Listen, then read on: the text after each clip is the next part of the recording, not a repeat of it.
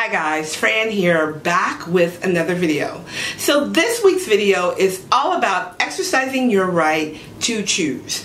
To choose the things that you desire, to choose the things that are in your best and highest interest. This week, my angels have been talking to me about making right choices, making choices that are appropriate for you and the things that you desire in your life. Sometimes you find yourself in situations where you're kind of like, how did this happen? Or why am I here? I, I, I, I didn't choose this.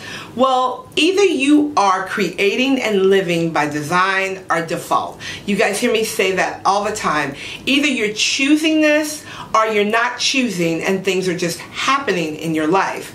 And the angels were talking about how we sometimes forget that we have the ability to change our lives by simply choosing to change our thoughts, choosing to change the way that we are doing things, the way that we are seeing things, and the way that we feel about things. We all have the free will to choose.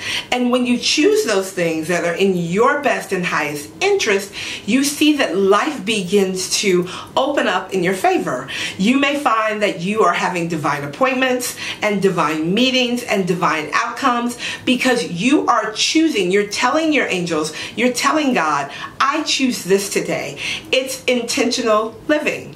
When you consciously choose to create your day, to create your life, to create your story, then you are signaling the universe that you are ready for those things to happen. No one can do anything to you that you don't allow. You don't have to do anything that you don't choose to do. So if you find yourself in a situation where things are feeling not as comfortable as they should or you're not liking where this is going, you always have the ability to say, I choose not to do this. I choose to do this. And in doing so, you are creating. You are saying that this is what I want which starts the manifestation process.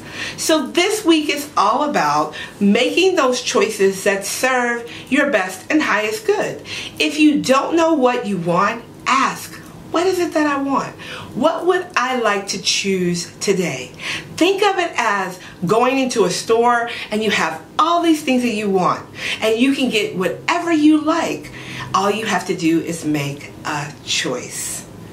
This week is all about choosing and consciously choosing those things that feel good, that make you feel good, and that are taking you to higher levels in your life. All right, guys, thank you so much for watching. Make sure you subscribe so that you don't miss any updates. I appreciate you and I am grateful for you. Bye for now.